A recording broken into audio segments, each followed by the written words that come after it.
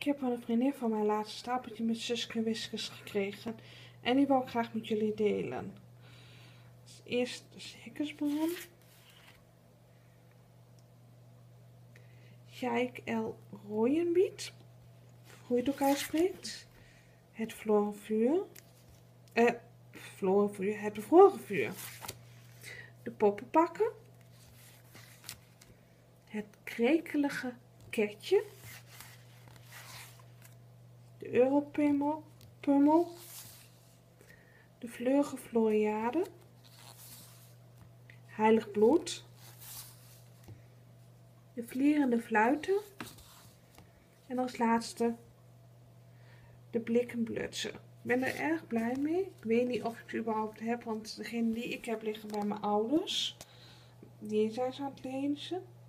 Maar in ieder geval... Uh, zij ze, vind ik, heb ik ze al, dan weet ik anders iemand anders wat er blij mee te maken. In ieder geval, dankjewel.